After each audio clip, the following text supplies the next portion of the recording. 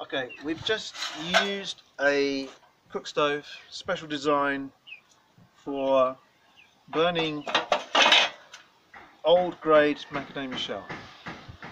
Malawi Opanda Utsi flame, no smoke.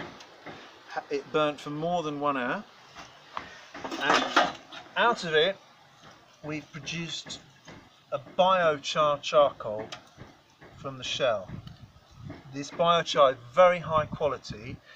We've done experiments and tests at Imperial College London to estimate the surface area to mass ratio of this biochar and it's extremely high because of the structure of the macadamia shell. So if I take a piece of shell like this and if we, we if you bring the camera in we might be able to hear it and hear what it sounds like when I drop it. It sounds like glass and that's based on the structure of this biochar. It's beautiful stuff. But the main purpose initially is to cook with flame without smoke, which we call Malawi or. So come on.